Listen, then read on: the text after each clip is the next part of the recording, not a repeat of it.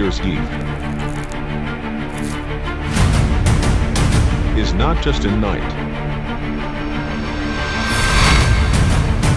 It's the night of the year. It's a new beginning. It's a new beginning. It's a new beginning. A chance to right all wrongs. Are you ready to leave 2015? Are you ready to leave 2015?